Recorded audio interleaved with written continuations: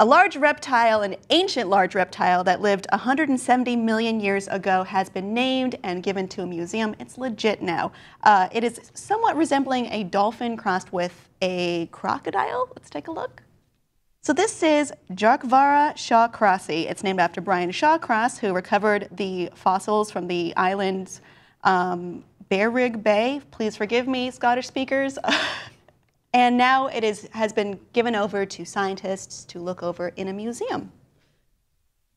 I mean, that is just one of the most amazing looking things. It, it belongs on like the Sci-Fi Channel, but it's a real, it's the real deal. That guy used to be Oh, roaming right. around in there.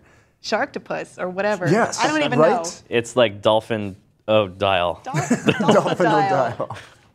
Get on it, sci-fi. Absolutely. So what I found interesting about this story is that this had this fossil of this uh, giant creature had been found in 1959, and it just taken until now for it to be named, to put out in a museum.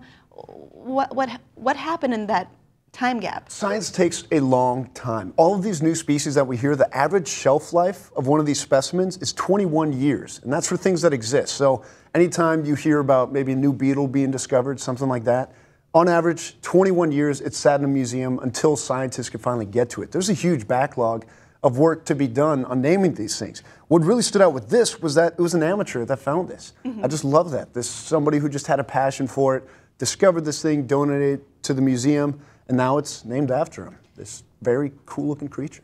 It's uniquely Scottish. Uh, the, the researchers at the University of Edinburgh have said, I practice saying that. Nailed it. Because last time I said Edinburgh and people got mad.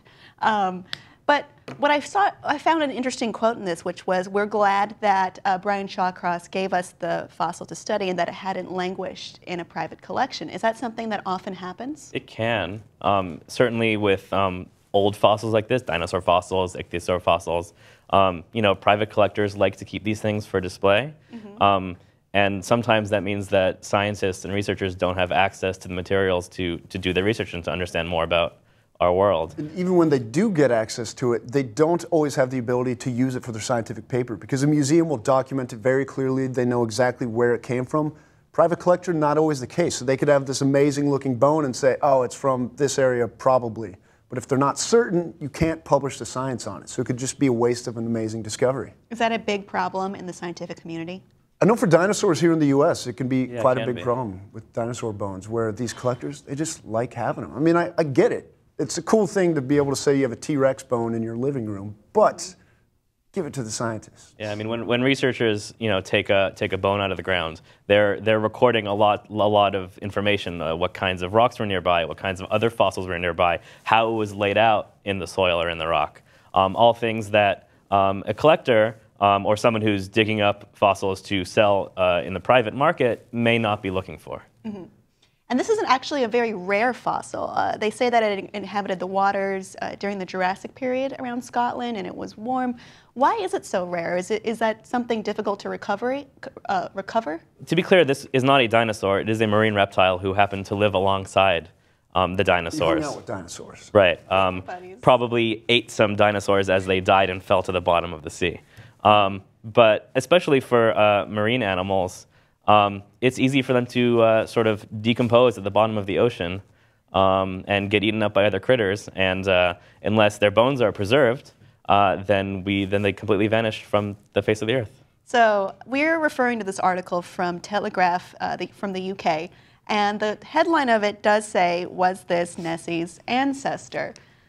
No. Guys, was it? no, it What? was not. Nessie is made up. Is it possible someone found the bones of this ancient reptile and was like, "I'm going to create a whole world around this"? I think that is just a classic PR department move where everybody grabbed onto that, like, oh, we could compare it to Nessie, and then you know you get a lot more eyes on, it, a lot more clicks. Nobody really, none of the articles I read really took Nessie seriously in it. I think they were just kind of a that's a tongue-in-cheek move thing, for a which is a scientific good article. move. Yeah, Yes. yeah, it's a it's a clicky headline, but um, uh, you know, Nessie was probably created because someone saw a big a big whale or a big fish or something. And You know, what really drew me to this place was the fact that the scientists said you can go there and discover fossils yourself, and they will name it after you.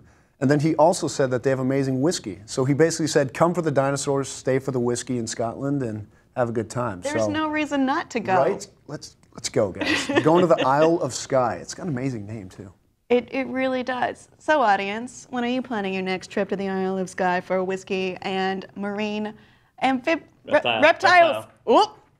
And not dinosaurs. Uh, it, it's really interesting to think about like the fossil discovery and the process that it goes through. Let us know what you think of that below in the comments, and please be sure to subscribe.